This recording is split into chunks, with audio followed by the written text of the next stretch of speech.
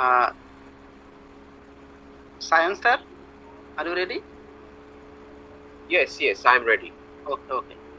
So they are joining and we will uh, start the session also. So hello everyone. A very good evening to the dignitaries, Team iSpell CG Forum and uh, participants present here and over Facebook too. I, Nurul Hoda, steering committee member, iSpell Chhattisgarh Forum.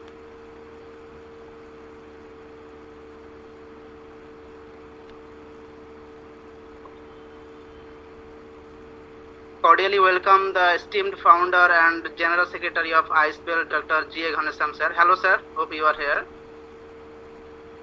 And uh, our Yes, esteemed Guru, I'm here. yeah, yeah, yeah. Thank you, sir. Our esteemed convener of iSpell Chhattisgarh Forum, Professor Kirti Tiwari, ma'am.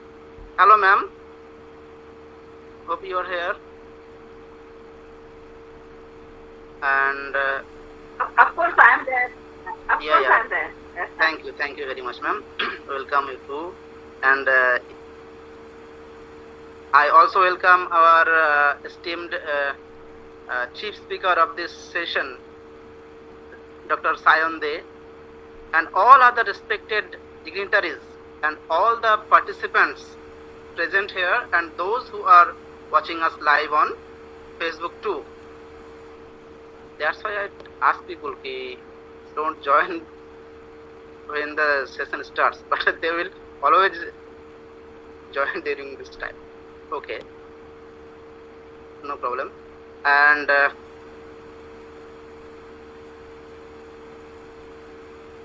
facilitated to elevate is the motto of uh, Indian society for the promotion of English language and literature iSpell Chhattisgarh Forum. This forum is actually the uh, branch of uh, Indian Society for the Promotion of English Language and Literature iSpell India also. And uh, this forum has been organizing um, many uh, PG lecture series and other activities also like personality development uh, and all other activities. And uh, uh, this uh, today's session is uh, for postgraduate lecture series and uh, targeting the syllabus of postgraduate students English literature and also the NET set examination. Our today's topic on the postgraduate lecture series is Leela Gandhi, the post-colonial theory. And uh, with this, I would uh, like to introduce the topic also. Leela Gandhi is the uh, John Hopkins Professor of Humanities and English at the Brown University. She has taught at the University of Chicago and Delhi University and many other universities and held uh, visiting professorship in Australia, Denmark, India, Italy, Iran, etc.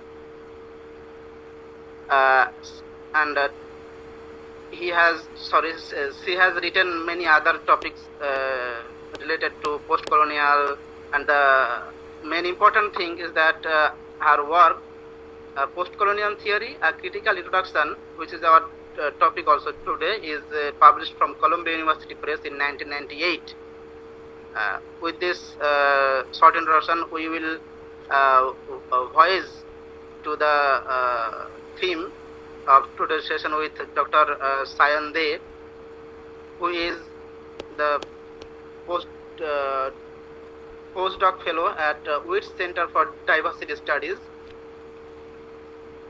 uh, with uh, University of Witwatersrand Standard, uh, Johannesburg. With this uh, short introduction with the author, without much ado, I would like to hand over the stage to the chief speaker, Dr.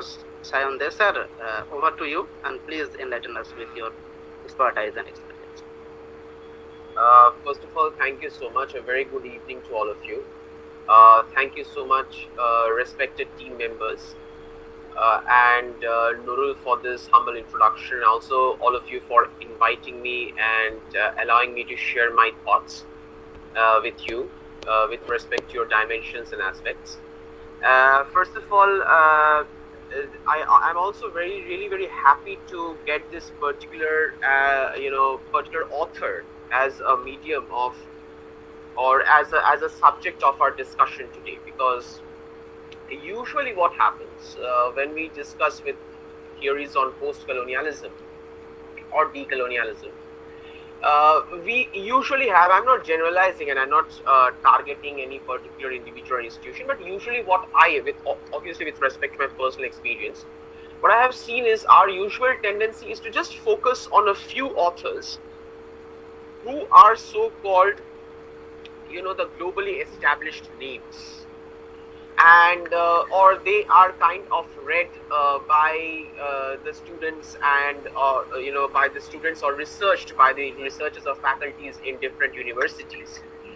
But the point is uh, so for instance we say we will start with Bhabha, Spivak, uh, Ahmed, uh, Edward Said and so on and so forth. But usually what happens and how, how do we derive this concept or how do we derive this dimension of reading only a fixed set of authors and not anybody else. We derive this dimension from the fact that uh, basically what happens, we derive this per perspective, we derive this dimension with respect to by looking at the syllabus structures, by looking at the curricular structures, pedagogical patterns of different educational institutions or universities that exist across the country or maybe across the world and we usually have this tendency of you know blindly mimicking those structures those representations of or representatives of uh, post-colonial theories uh, within our own discourses. But the question arises how many of us critically think about the contexts or about their about their contribution to our contexts individual and collective to which we belong? To simplify further when we read a critical theorist, we are often said that if you want to learn, uh, you know, structuralism, you have to read this particular theorist. If you want to learn post-structuralism, you have to read this particular theorist. If you want to learn deconstruction, you have to read this particular theorist. So this is how we are taught on a daily basis. This is how we are regularly uh, analyzed or we are invited to analyze. But we are hardly, but how many of us are given the chance to think about the fact that why we should read this? Even before asking this question, what contribution did these theorists make towards our understandings of our post-colonial theories or any other theory in general? Uh, we hardly ask this question that why are we reading them? What are their or how their perspectives are going to contextually enlighten us or how much they are going to help us to act within our respective challenges, contextual challenges. We hardly ask this question or rather to say it in a more uh, you know straightforward manner we are not allowed to ask this question. You know who doesn't allow us? Obviously we have individuals we have institutions we have different forms of hierarchies that works. You know like caste hierarchy class hierarchy gender hierarchies uh, social hierarchies familial hierarchies religious hierarchies racial hierarchies communal hierarchies. And there are so many other forms of hierarchies that exist. Just i mentioned a few so in that in such a kind of scenario in such a kind of you know uh, if i say it as a linearly patterned way of understanding post-colonial thinking or linearly patterned way of presenting uh, post-colonial theory especially within the context of contemporary india i think the presence of leela gandhi uh, makes a very strong intervention makes a very strong input and makes a very strong effort to dismantle uh, this uh, you know, unquestionable, stereotypical, unidirectional hierarchy that exists in our readings and understandings of post-colonial theories. Because what happens, this is something, you know, uh, we can call it as selective inclusivity or, you know, uh, which is something, you know, there is a, there is a Bolivian theorist, her, her name is Silvia uh, Rivera Cusicanqui. Uh, she basically, uh, you know, talks about a very interesting thing. I'll just write the I know uh, I'll just write the name. That's why I, I just opened up the chat uh, about whom I'm speaking. So I just wrote the name in the chat to everyone. You can just look at there. Uh, so basically, she's a uh, you know a Bolivian Bolivian indigenous thinker uh, from Bolivia, Bolivian indigenous thinker and uh, she has while she argues about the problems of you know post-colonial and the decolonial and how they are being stereotyped how they are being represented through a specific set of schools of thought, etc. She brings a very interesting concept that how we look at our own history, and she says that uh, you know uh, whether we are doing it consciously or unconsciously, but we have a tendency of looking at history in a in a selectively inclusive and exclusive manner. So, in other words, what happens? We usually, when we read history, when we read a particular set of authors, when we read a particular set of events within specific dimensions of time and space, we don't realize, or often we realize, but we fail to apply that they are, there are a lot of narratives, lot of arguments which are being very systematically excluded in our discourses. Now, why they are excluded? There are multiple reasons. Maybe that doesn't fit the, you know, ideological framework of the ruling political power. That may not fit, uh, fit the, you know, ideological framework of a communal power, of a social power, of racial power. So, whosoever is in the dominant state always come forward, and they basically create this, uh, you know, discourse, this this particular aspect that only these historical arguments, only these particular historical dimensions are authentic, and the rest of the dimensions which we have rejected or which we claim as you know something which doesn't fit to our own uh, understandings, our political ideologies are inauthentic. So these kind of hierarchies have been existent since the you know uh, colonial era or pre-colonial era as well. Now in the colonial era when it happened, we saw the same thing that the colonizers did to us with respect to their uh, you know, to re uh, respect to the imposition of their historical understandings upon us. Now, this is why what happens, uh, what is really important is to read now, when we read Leela Gandhi, and obviously Leela Gandhi has uh, written uh, several works, but one work which I find is really very fascinating, all her works are fantastic, but one particular work I'm going to mention in this particular, uh, you know, presentation of mine. And that is her, her book called Post-Colonial Theory, A Critical and I'm pretty much sure uh, many of you must have read it or you are looking forward to read it in the near future. Now, Leela Gandhi, very interesting, brings or conducts a comparative study between two people. Okay, one is Frantz Fanon and another is Mahatma Gandhi. Now, Frantz Fanon's vision of post-colonialism and Mahatma Gandhi's vision of post-colonialism, and they both are very crucial. They both are very important and obviously she brings in several uh, aspects about uh, gender uh, discourses. And she also mentions that why racism should not be the overpowering dimension of understanding gender in the post-colonial era then some various other dimensions of caste class community also remains underrated undiscussed in the process. And she talks about many things which we obviously will discuss in due course of time uh, in this presentation. But the point is you see now, why Frantz Fanon? Why do I call this comparison between Frantz Fanon and Mahatma Gandhi very interesting? Because let me tell you, whosoever has read Frantz Fanon, especially works like Black Skin, White Mask, The Wretched of the Earth, if you look at his work, Frantz Fanon's writings are very aggressive in nature. Now, obviously, I use the word aggression in the critical positive sense. I'm not trying to say that Franz Fanon uses it in a negative sense. Uh, and Fanon's works because he was actually working with the for the French army.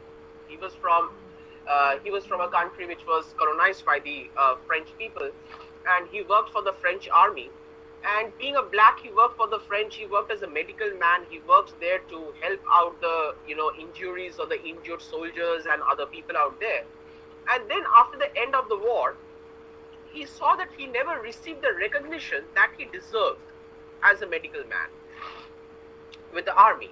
And that kind of, that was the moment when he realized what is racism all about. So basically, Frantz Fanon's writings, if you see, his understandings of racism completely emerges from his personal experiences. And if you read his writings, you will totally understand. And he has expressed, he has talked about racism from multiple dimensions, multiple frameworks. He has talked about racism from, uh, you know, dimensions of, uh, you know, psychology, from the dimension of medical sciences, from the dimension of uh, history, cultural studies, and so on and so forth. And obviously, uh, you know, other various other dimensions as well.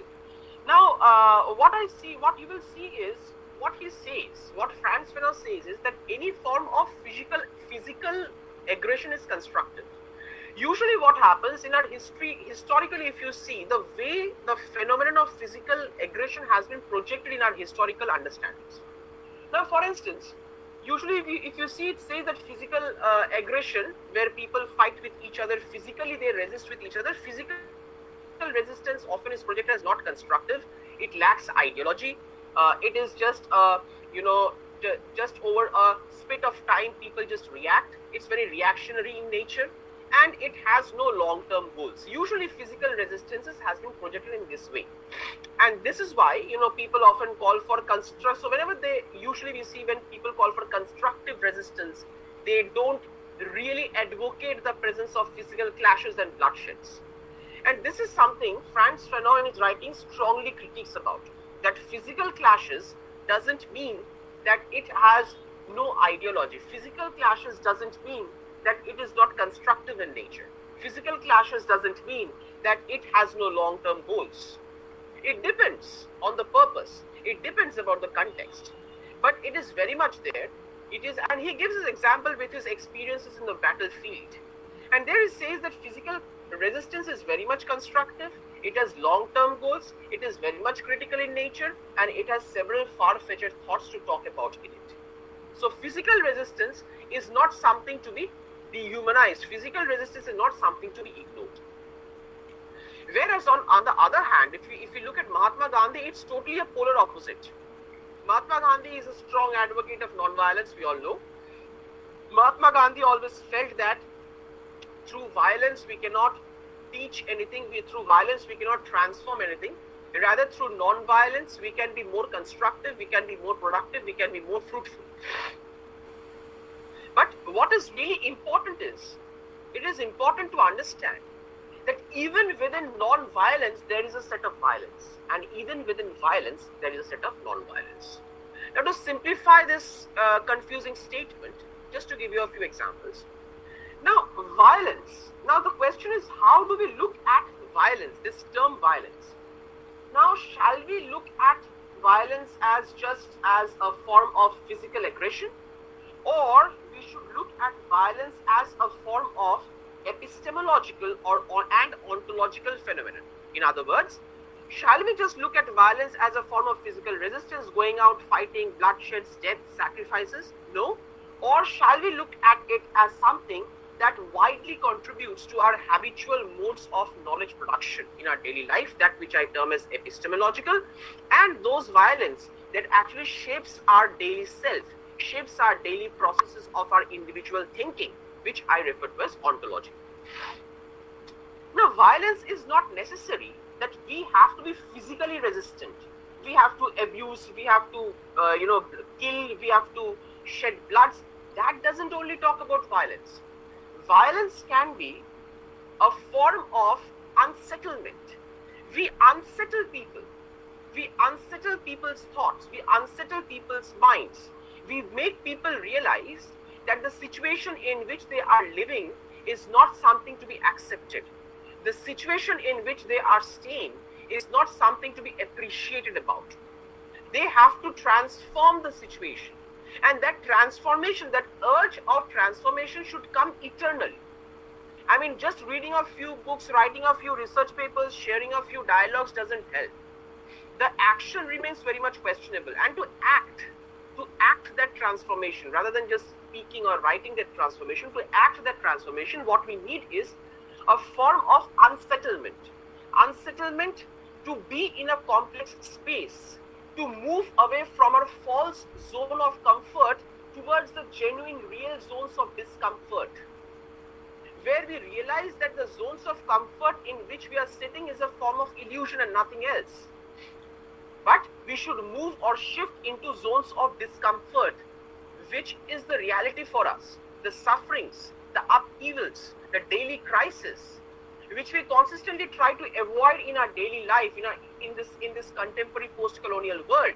Whether we talk of racial crisis, financial crisis, familiar crisis, educational crisis, job crisis, whatever different things we can talk about with respect to our current context that is also this very feeling of unsettlement, this very feeling of the realization, this very feeling of being transporting oneself from this false zone of comfort towards the realistic zone of discomfort is also a very necessary experience of violence.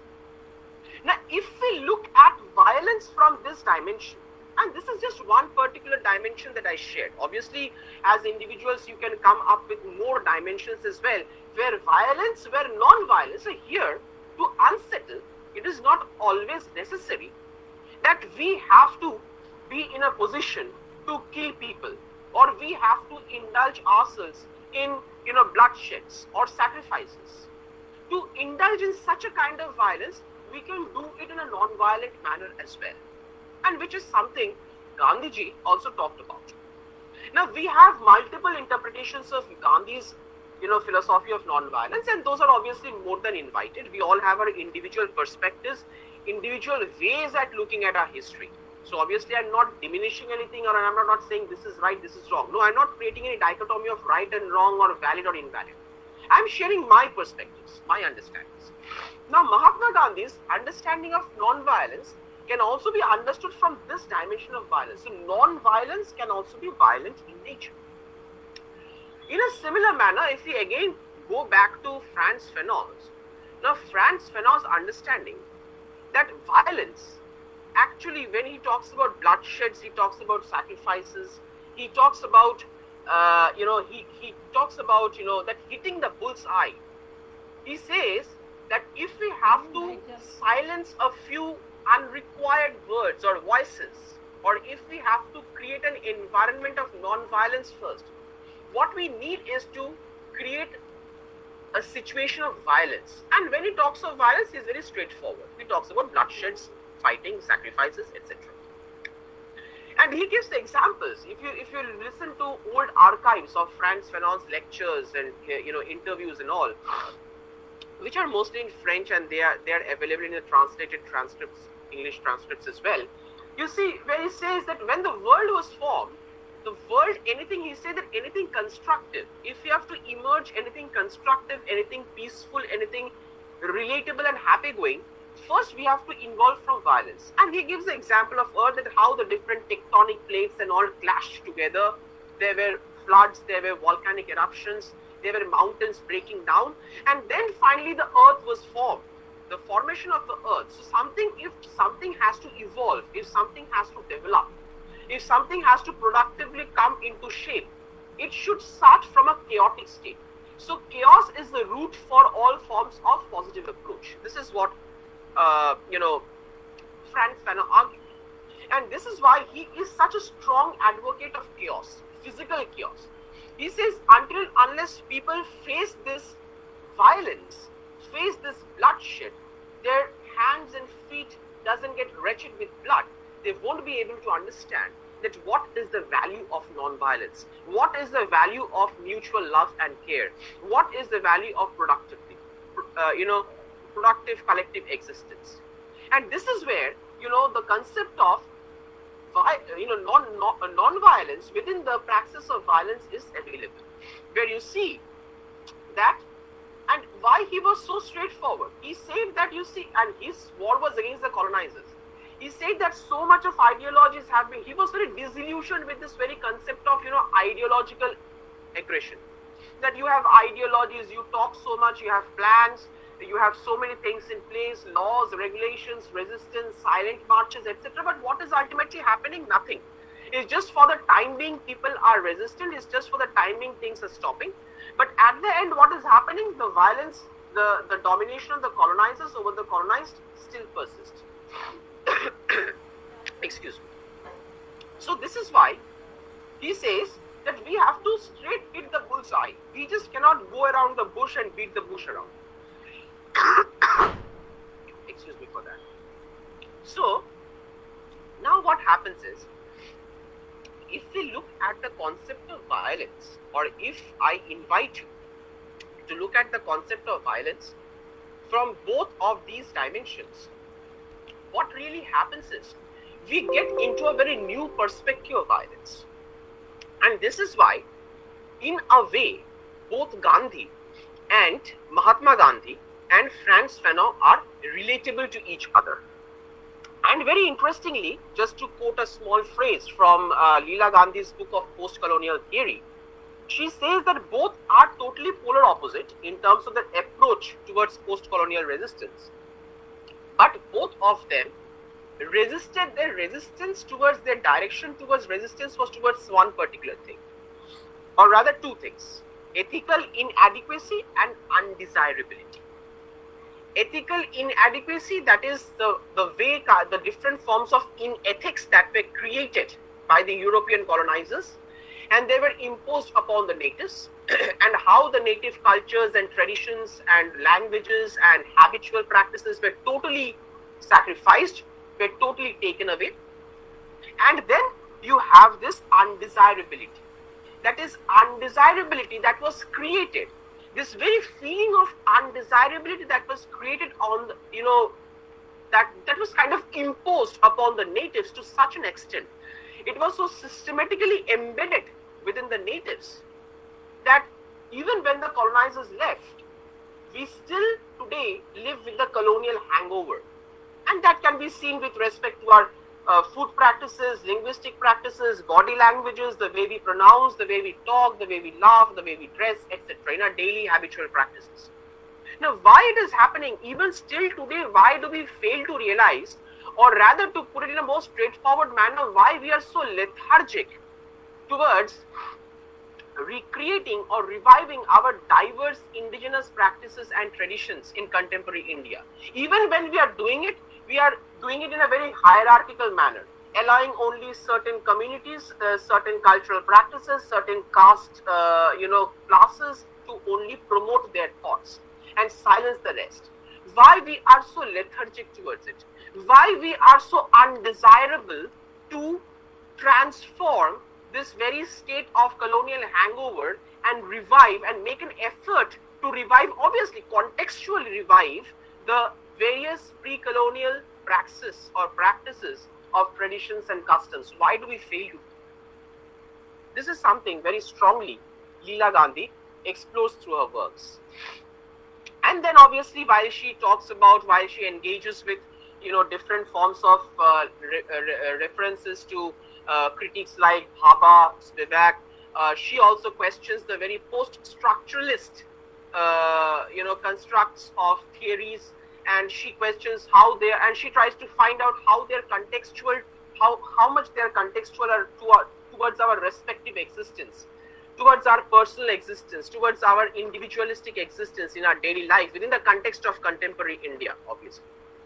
Now, this is one side of Leela Gandhi's story, and if you read her works, you will see that she also is a very strong critique of, you know, uh, Marxism as well.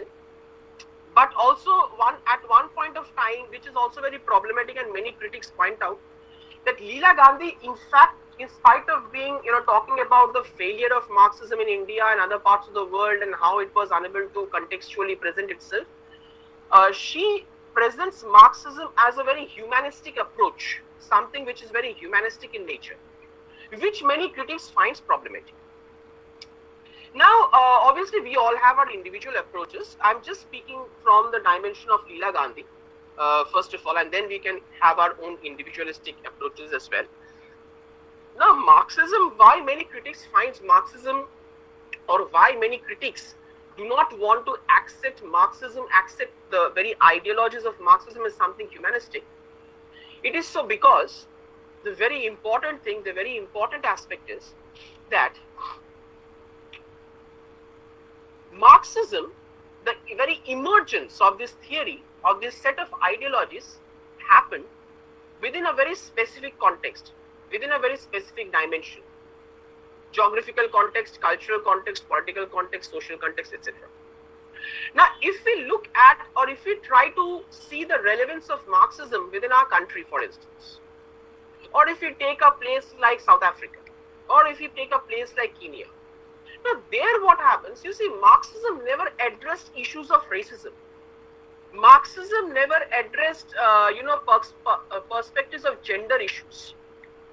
Marxism never addressed issues of caste or class now, if we if we read the theories of Marx and Engels in the book Das Kapital, we see these issues have never been taken into consideration. Now, some were not relevant in their context, and some, in spite of being relevant, they did not think of including them in their discourses. Now, which the which many post-structuralist and post-Marxist thinkers who are not strong advocates of Marxism, they find it very problematic. So this is why Leela Gandhi's advocacy of Marxism as a humanist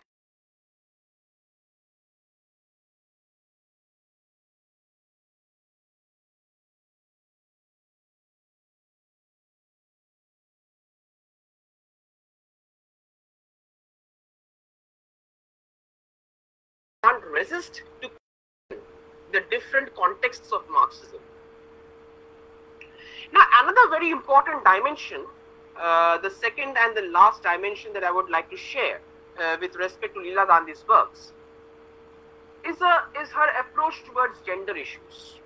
Now, obviously, uh, if you if we read her works about gender, we see that how she presents gender or she presents gender perspectives uh, with respect to the various dimensions like you know uh, after after the post-colonial era or she also presents the argument of the first wave second wave third wave how later on in the after the third wave there was black feminism there were black marxist feminism uh, just marxist feminist scholars and so many other you know tangential dimensions of feministic thoughts you know coming out of the discourses depending on the problems with respective contexts. She feels, and obviously her experiences are based on her uh, teaching and research experience in the United States. And Leela Gandhi feels that uh, what is really interesting is that there is too much of the domination or too much fetishism to bring in the question of race in gender issues or specifically towards addressing feministic issues. Now, obviously, she is not uh, saying that uh, that you see race issues should not be addressed or race issues should not be uh, given importance. She's saying everything should be given importance, but the point is, if we are advocating a particular issue with too much of emphasis, then in the process, what happens? The other issues remain. Now, this is why many feministic dimensions which are relevant, which are contextual to certain countries, certain situations, certain issues, are still not very well addressed. Now, for example, in India, we have many discourses. At the outset, I'm making it clear that I'm very much aware of the fact that we have many discourses about caste based feministic problems. Caste based privileges or the non privileges that are kind of experienced by the people, the kind of experienced by the women in our so, uh, in our social structure. there are various dis- uh, available discourses, writings on it, but still, somewhere, somewhat, in our mainstream frames of our discussions, whether we are doing it in the classroom, whether we are doing it in a in a in a coffee shop or in a in a lecture house, wherever we are doing it, we hardly talk about you know feminism or caste based issues about feminism in India. Even when we see at least with respect to my experiences, when we see tutors introducing a module of feminism in the classroom to the students, they usually stick to the traditional pattern of first wave, second wave, third wave, this happened, that happened. Hardly the issues of contextual issues like caste, creed, gender, class divisions, subcastes, the conflicts between subcastes, still they are very much ignored. Now, whether they are deli- deliberately ignored in some occasions, in some occasions people are unconscious about talking about it because they are so much fetishized with the usual traditional grammatical pattern of talking about feminism in the class. And this is something Leela Gandhi also very strongly mentions that in post-colonial feminist di- discourses, there is a privilege, there is always a hierarchy. In some places, it will say that race should be talked more about caste, or class divisions should be talked more rather than race divisions in feministic discourses. So Leela Gandhi has a problem in such kind of dimensions. Leela Gandhi has an issue in such kind of discourses. That she says that if we fail to move beyond these discourses, if we fail to move beyond these perspectives, then what is going to happen is, or then what is going to the, the problems that we are going to face is in our daily life that we will remain stuck to the same kind of issues that we are in today. No matter how much we talk about caste, class, gender, but if we keep on living with these hierarchies, which are manufactured and maintained by the institutions, individuals, families, societies, coffee shops, lecture theaters, everywhere, then we won't be able to engage or deal with these issues of the various issues of the post-colonial feministic scholars. This is something that we should all keep in mind. So, well, I'll, I'll stop here. I, will stop here, and I, I, would like to see uh, if you have questions or reflections or whatever ways you have perceived, uh, you know, Leela Gandhi. Uh, maybe that would be interesting to open up the space for discussions.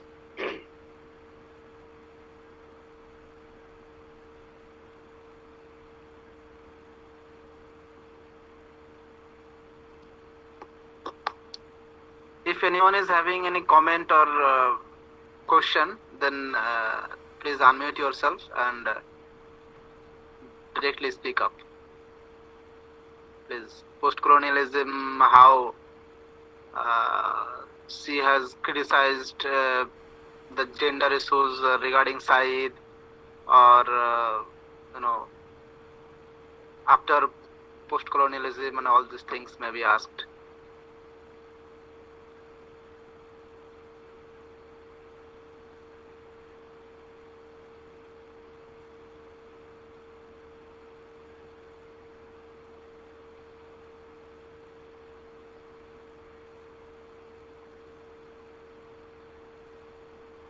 And also, I mean, you can simply ask questions on post-colonial dimensions as well, because uh, Leela Gandhi's intervention uh, is actually very important. Leela Gandhi's intervention is very fascinating and crucial from different dimensions because uh, she brings in one perspective of post-colonial thinking, and we have various other conflictual and various other patterns of post-colonial thinking which doesn't converge, which converges as well as diverges from each other and they all come from different geographical and cultural standards and geographical and cultural st status. So you may ask or you may uh, start sharing your thoughts about perceiving feminism, your thoughts about per, uh, perceiving the different layers and sublayers about post-colonial thinking in your own manner as well. And that would be very interesting.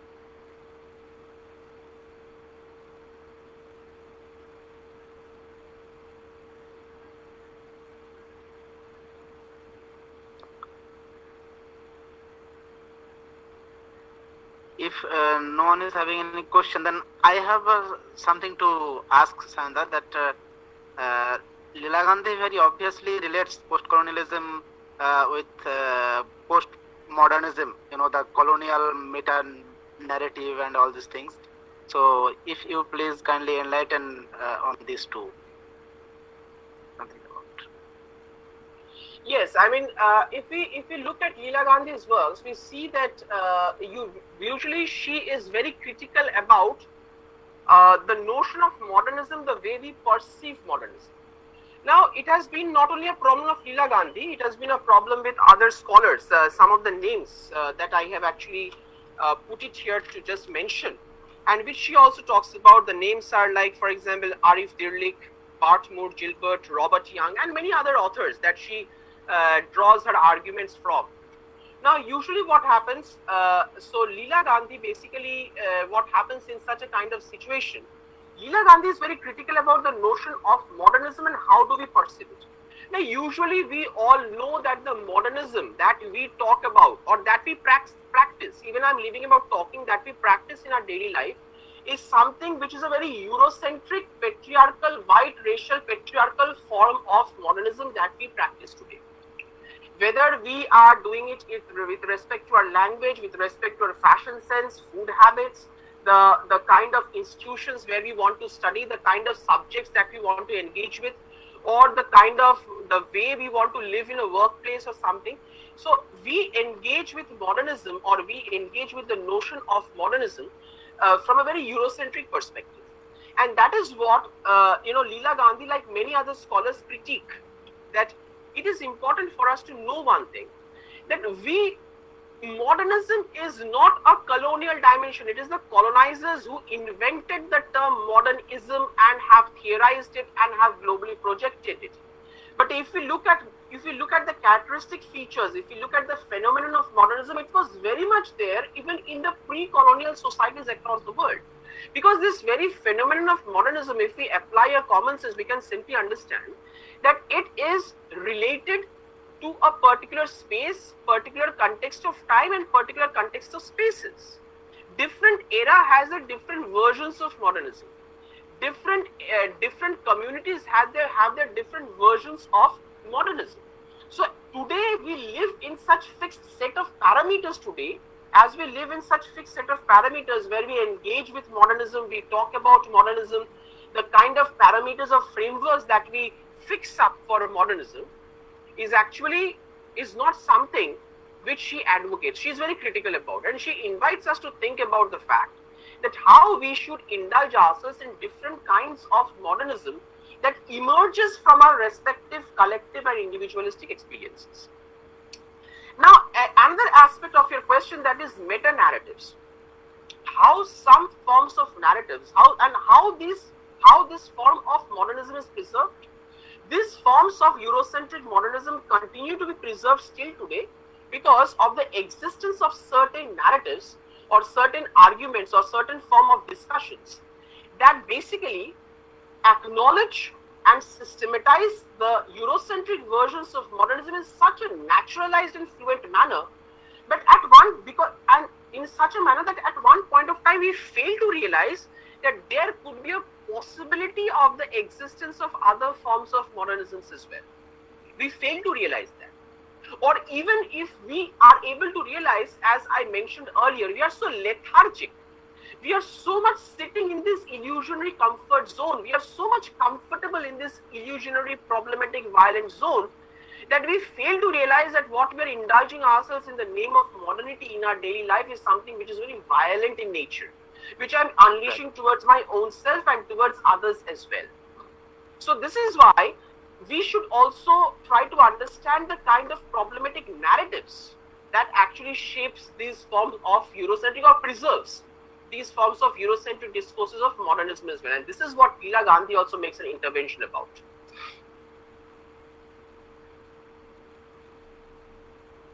Yeah. Good evening, sir. Uh, yes, yes. I am Chirantan mm, and I have a question, sir. Uh, I have two questions. Uh, sir, what is the yeah, basic difference between postmodernism and postcolonialism?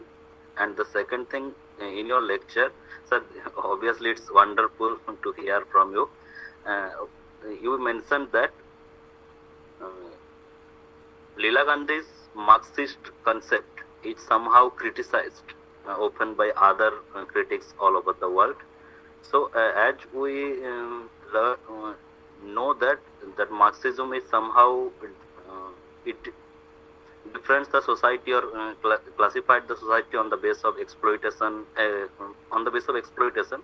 So why uh, her concepts of marxist uh, actually i want to know what is his exact opinion uh, about marxist uh, what is her exact opinion about the marxist theory and how and why it is criticized by others will you kindly explain it again yeah sure Thank yeah, you, so coming to your, uh, no problem, yeah, that's, thank you for first of all asking these two uh, nice questions.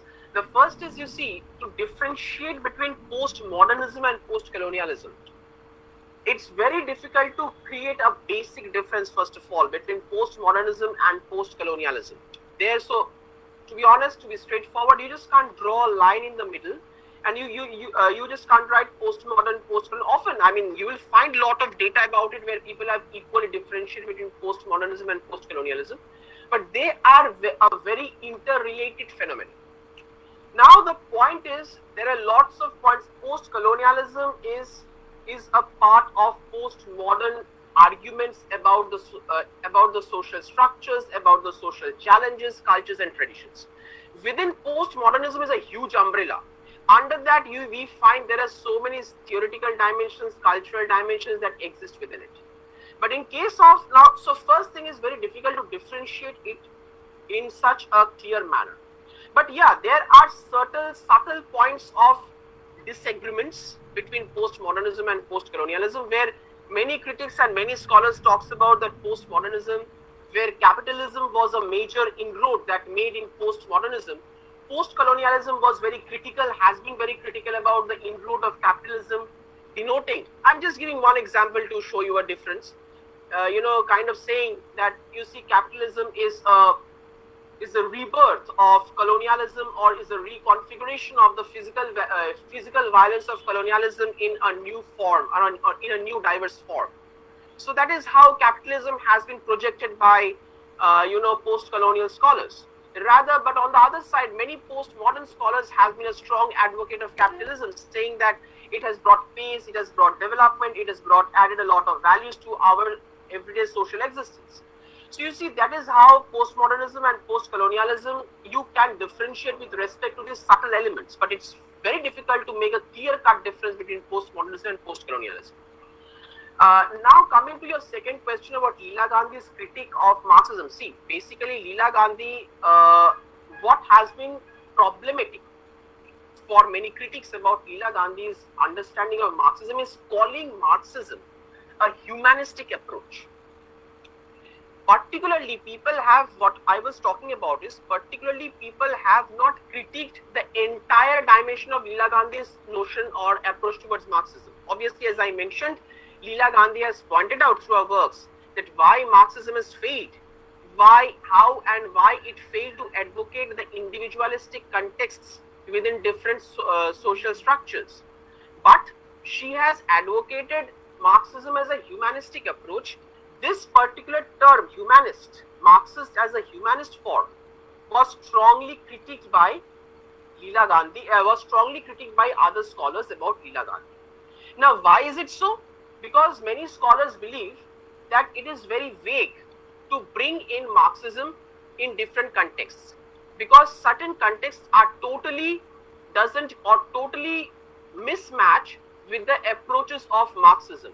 Now, when we are talking about now, if we look at the basic idea of Marxism, that is the uh, to bring an equality between the elites, the bourgeois, and the proletariat, to point out the differences between the bourgeois and the proletariat, and to bring a balance in their existence. If we talk about from a class structure, basic class structure dimension, we see that there are various various challenges, there are various various problems in it now, in within an Indian society, if we take the class structure into existence, it cannot be just one kind of class structure. It is not just about the bourgeois and the proletariat.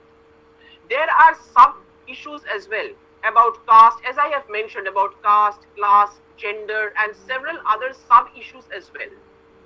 Now, if we look at these sub issues, there it is very challenging to position just Marxists or Marxists and Engels' mere understanding of class differences in those sub issues of caste, class, subcaste, gender, within gender, other dimensions also come. So it is always branching out. So that is why to call Marxism as a humanistic approach, many critics found it is redundant in nature. Thank you, sir. Thank you. Thank you. Wonderful. I want to congratulate you for you. Hello? Yeah, Yes, hello, yes, hello. please. Yes, yes. Please tell. Uh, I want to first congratulate you for your brilliant speech. Sir, can you please explain Lyotard's idea about grand narrative and mini narratives? Actually, I don't uh, have clear and proper idea about it. See, basically, grand narrative and mini narratives, what you find here is even Lyotard, or if you go beyond Lyotard as well, is the basic idea that within the approach of modernism, as I was mentioning, now, for example, if I say I am very modern in nature, and I meet you and say you are not at all modern in nature, you are very backdated in nature. Now, two things, widely two things might happen. First of all, my approach towards modernism, as I see you as unmodern and backdated and myself as very modern, may be appreciated by 10, 15 people around me saying that yes, yes, you are right. And uh, what you have said about her is absolutely right. Or else the other thing might happen that you also present a counter argument by saying that no, I'm sorry, I can't accept your words. You are unmodern to me, rather, I am modern. So that may be appreciated, and pe- people might say that yes, yes, you are right, follow me, Shine is wrong. Now, how this right and wrong is being created, how this hierarchy, whether I am right or you are right, whether I am modern or you are modern, how is this narrative getting created? It is created created through discourses, the way we speak, the kind of language we implement, the kind of the kind of body language that we show, the kind of things that we share, or at the same time there are various other dimensions as well. Geographical dimensions cultural dimensions the place from where i belong to. So you see certain narratives certain ways of now narratives is a huge concept. It includes so many dimensions. You will see you will see that there are dimensions about body languages there are dimensions about verbal languages the dimensions about your attitude about your presence everything is a form of narrative. Even your silence can create a narrative as well. So now certain narratives just gets created just because of the fact because I belong to a particular privileged section in the social structure, in the existing social structure. Now that privilege might come of my class belongingness, of my caste belongingness, of my gender belongingness, of my academic belongingness, job belongingness, whatever that might come in various ways. But the point is, you see, certain narratives are being projected in such a manner, certain words, certain ideas, certain approaches towards life are presented in such a systematic manner, even when we know that they are wrong, they doesn't suit me. What happens is we are forced to accept those those narratives often exist as grand narratives. That is, they are grand, they are wide, they are huge, and they are all pervading. Whether they are, they can be extremely violent, they can be extremely problematic, but we are forced to accept. That is why if you go for a job interview, maybe even in the extreme hot summer season, you will be asked to wear, you are expected to wear, you may be expected to wear a coat and a tie and a pant. Maybe you are suffocating but no one cares because that's a sign of modernity.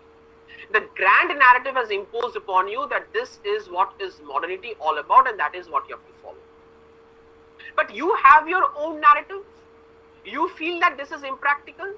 This is nonsense even in the extreme summer season and most importantly my presentability obviously dress contributes towards a lot towards my presentation but i can wear some other comfortable dress as well and i can be presentable. But that's a form of narrative which people won't listen to you.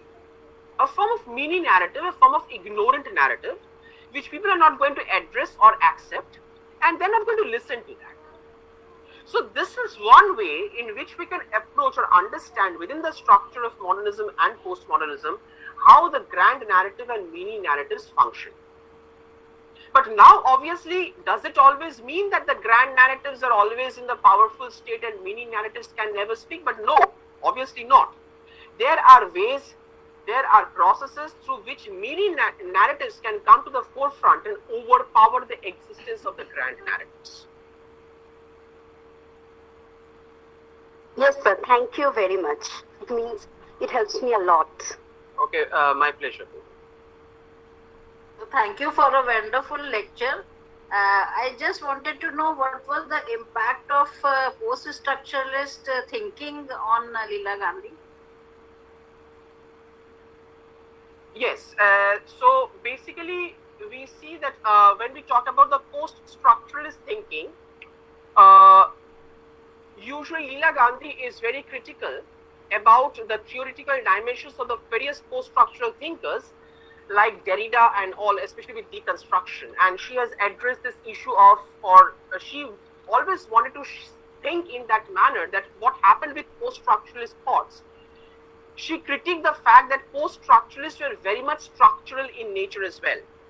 Because certain theories, certain ideas came out as post-structural concepts or post-structural ideas with this notion that they should never occupy the center the center is always ever transformative in nature. The center is not fixed. It is always in a state of transition. When we read Derrida, we find this kind of concepts as a post-structural scholar. But what happened ultimately is, how many of us, if we ask this question among ourselves, how many of us try to read Derrida beyond Derrida? How many of us are aware of other versions of deconstructive thoughts that have emerged after Derrida? Obviously, by this I do not mean, or I mean, even if we see Leela Gandhi's perspectives, the way I read her, I don't think she means that we should never acknowledge the existence of Derrida. But what she means is that Derrida was very much there. Derrida, Derrida came up with the concept of deconstruction as a theory that's perfectly fine.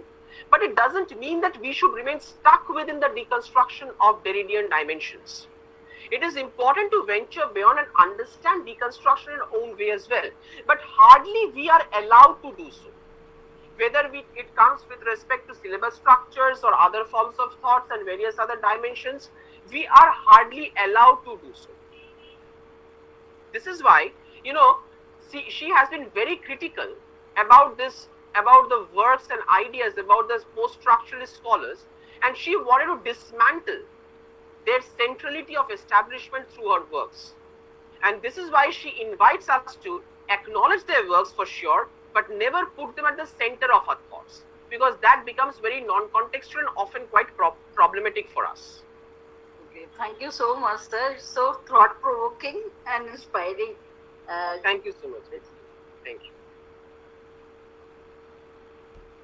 Good evening, sir. My question to you is that uh, I have seen that post-colonial is written in two way, post-colonial and the post-colonial. So, uh, please uh, highlight. Oh yes, uh, so basically the hyphenation, uh, one post hyphen colonial and post colonial together, the hyphenation has various connotations. Okay, one is which one when we write this hyphenated form, the very basic uh, concept is that it talks about the the period of timeline. So, for example, India's post-colonial era emerged from 15th August 1947, if I make a statement like this. So post-colonial because I am designating particularly that historical timelines from when the very structure or very ideas of post-colonial emerged. And post-colonial without a hyphen, what we basically see is there are no dimensions or post-colonial without a hyphen, what we basically see is there are, it is taken as an ideology, the ideology of post-colonialism, the theory of the post-colonial, or the phenomenon of the post-colonial. But there are various other approaches as well. For example, many critics believe that this post-colonial talks about the segregation between the word post and colonial, and often many critics even use post slash colonial. They say that post colonial, because it's a continuity of colonialism, just with a new terminology, we are saying it as a post colonial, but in reality, we see it's a continuity of colonialism. That is why post colonial should not be accepted. The word post colonial should not exist, or the post word post is very much questionable with the word colonial. So people often put a slash between. So it is written in various ways from various ideas, but yes, this is the basic idea that we engage with, with post hyphen colonial and post colonial. Thank you very much.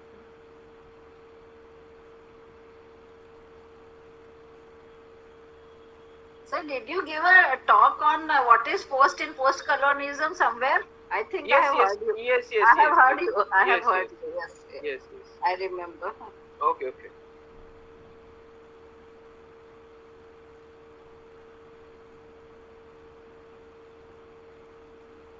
Thank you very much. It's wonderful. And before we conclude, we would like to have some words from you uh, on the limits of post-colonial theory as it is described in the in their syllabus also.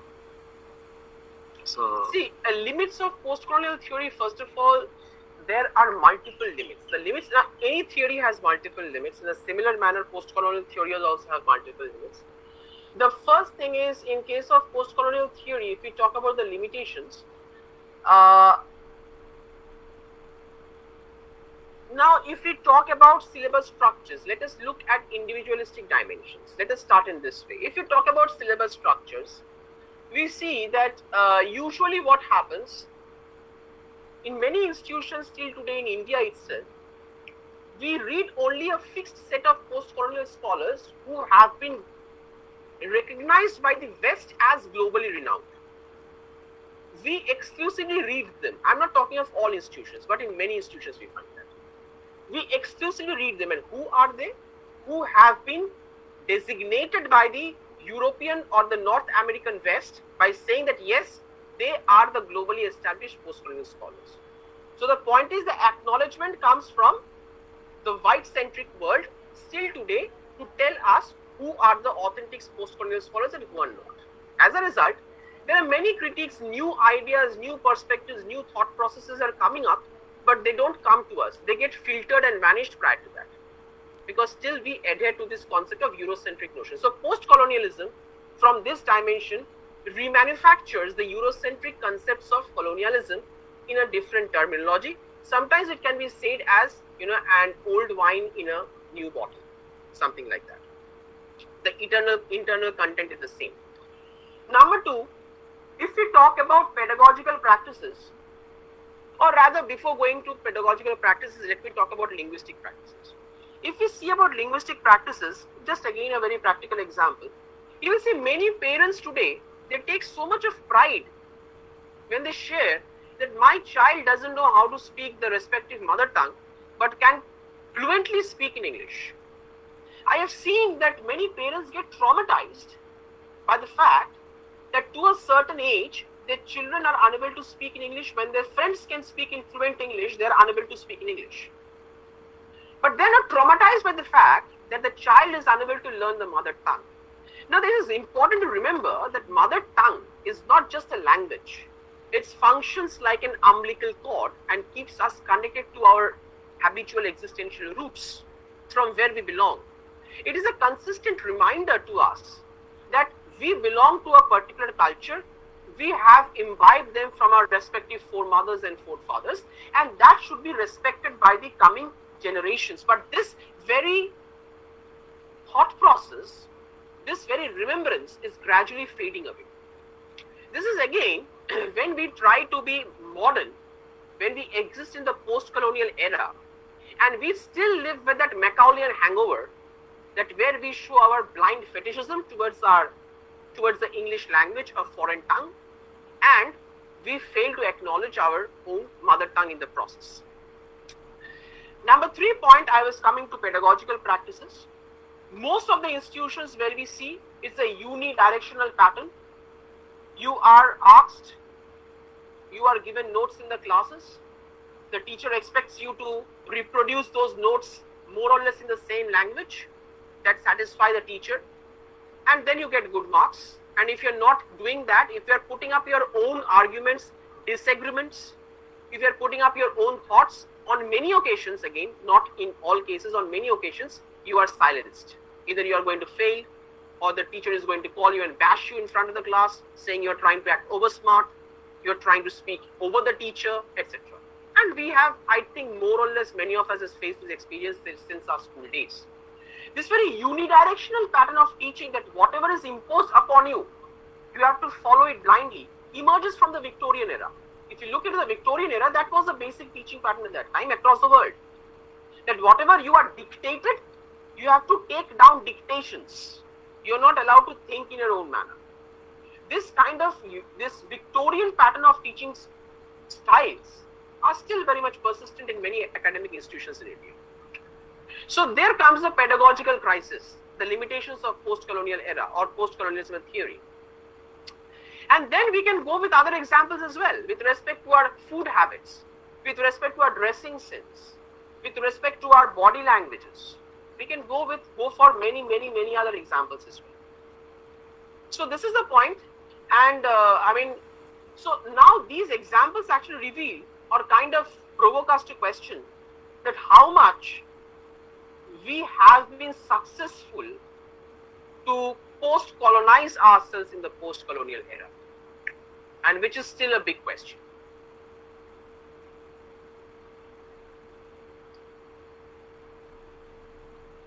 Thank you Yes, very much. Thank you very much. And before I conclude, uh, I must thank you uh, that uh, you accepted my uh, request wholeheartedly when I requested you for the session. And a big thank you means uh, word cannot uh, explain it uh, that uh, we are happy and enlightened enough that uh, uh, you have made the whole thing about Leela Gandhi very easy uh, and presented it in a very colloquial and uh, easier manner. Thank you very much. Thank you, Dr. Kirti Tiwari ma'am, for being here with us, and Dr. G. Ghanshyam sir, who is the OSD and Directorate of uh, Higher Education and the founder of this uh, iSpell also. Uh, and before I adjourn the session, I would like to uh, show you or or give you a token of love and respect with this. This is. Can you uh, see the screen? No, yes, yes, yes. Yeah, yeah. Thank you so much. Thank you yeah, so yeah. much. This is just a token of love and respect Thank uh, you so on behalf of iSpell. Yeah, thank you. Thank you very much. Sir, on behalf of iSpell Chhattisgarh Forum, I, the convener, Kirti Tiwari, also uh, extend uh, my heartiest thanks to you and uh, also to Nurul uh, for bringing such a wonderful resource person for our students because this topic was uh, really uh, analyzed and discussed so very uh, interestingly uh, in lucid language. I'm really grateful, sir. It will be of great benefit not only for the student but for teachers also. And uh, colonial, uh, you know, critical theories are often asked in NET, SLET, and all the competitive exams. So that is going to be very beneficial for the students, uh, PG, research scholars, and those aspiring for uh, NET, SLET, and uh, assistant professors, PSC. Thank you so much, sir. Thank you. Thank you so much, ma'am. Thank you so much for your kind words. With this, now uh, we conclude the session. Yeah. Thank you so much.